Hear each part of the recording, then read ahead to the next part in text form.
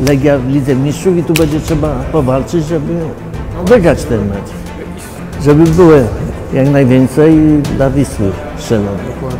Trzeba do ostatnich bliska Tak mieć nadzieję. Tak.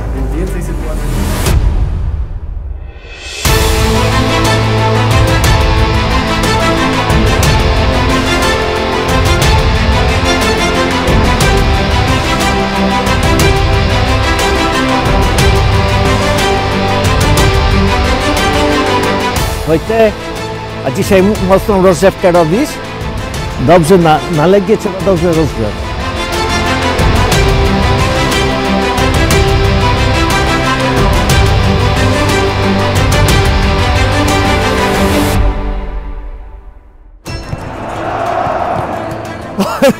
Za mocno. Myślałem, że już schodzi. Już się rozgrzał, tak?